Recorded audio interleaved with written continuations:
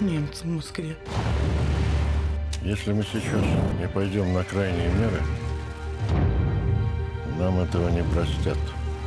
Ничего не забудут и ничего не простят. Не стану скрывать, немногим из вас суждено вернуться. А если вы попадете в плен к немцам, погибнете от пыток. Что же это получается? Нам оружие совсем не понадобится?